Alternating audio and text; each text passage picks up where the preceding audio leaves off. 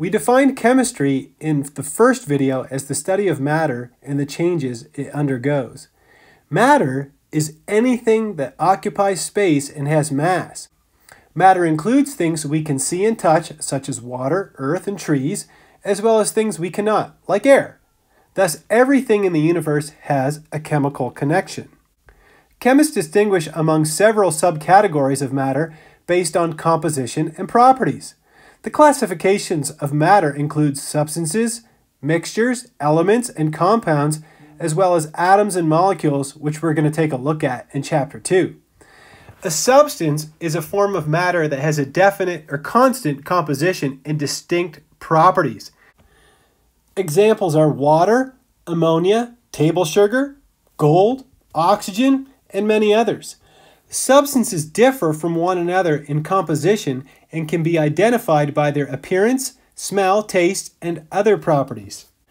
A mixture is a combination of two or more substances in which the substances retain their distinct identities. Some familiar examples are air, soft drinks, milk, or cement. Mixtures do not have a constant composition. Therefore, samples of air collected in different cities would probably differ in composition because of differences in altitude, pollution, and so on. All mixtures are categorized as either homogeneous or heterogeneous. When a spoonful of sugar dissolves in water, we obtain a homogeneous mixture in which the composition of the mixture is the same all throughout. So for example, a homogeneous mixture, if you take Kool-Aid crystals and you put them into water, you're going to end up with a homogeneous mixture. You end up with a clear solution. Even though it might have a color, it's still clear, so therefore it's all homogeneous. It's all the same throughout. If sand is mixed with iron filings, however, the sand grains and the iron filings remain separate. This type of mixture is called a heterogeneous mixture because the composition is not uniform. Any mixture, whether heterogeneous or homogeneous, can be created and then separated by physical means into pure components without changing the identities of those components. Thus, the sugar or Kool-Aid could be recovered from the water solution by heating the water or heating the solution and evaporating it to dryness, and you'd be left over with the Kool-Aid crystals. Condensing the vapor will give us back the water component. To separate the iron sand mixture, we can use a magnet to remove the iron filings from the sand because sand is not magnetic. After separation, the components of the mixture will have the same composition and properties as they did when we started.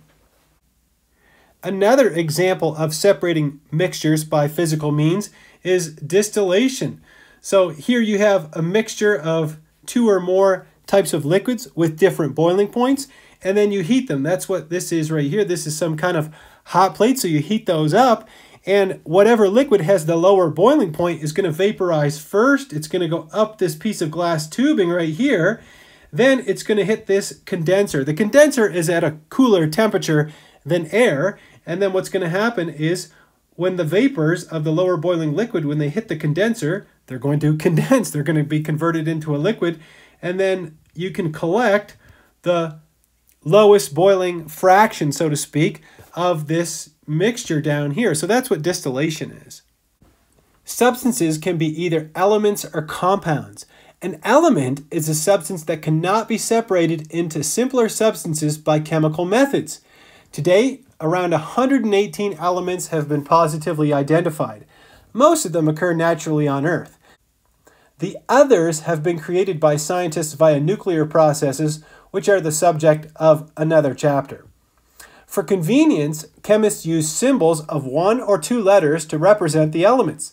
The first letter of a symbol is always capitalized. It's always an uppercase letter, but the following letters are always lowercase.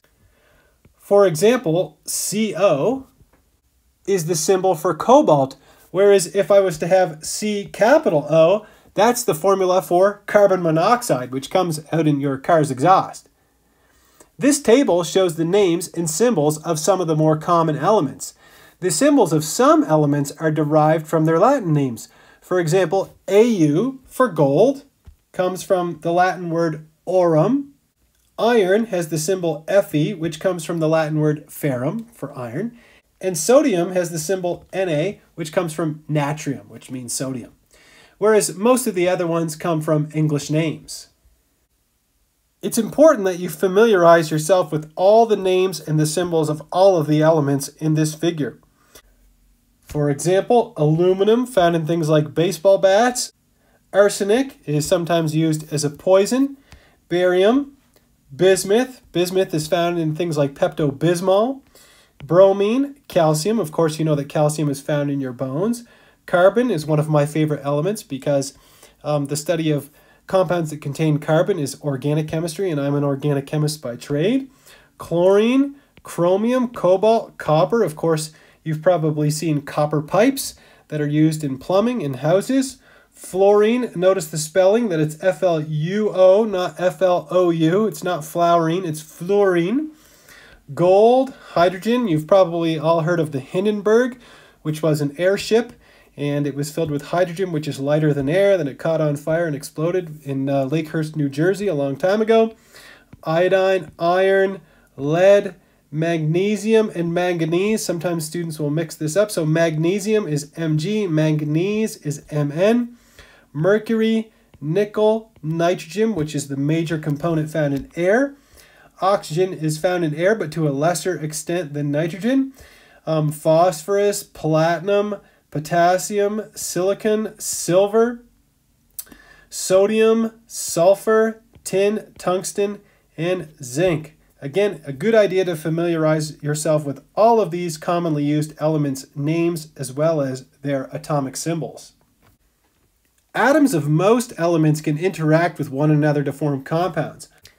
Hydrogen gas, for example, burns in oxygen to form water, which has properties that, that are distinctly different from those of the starting materials.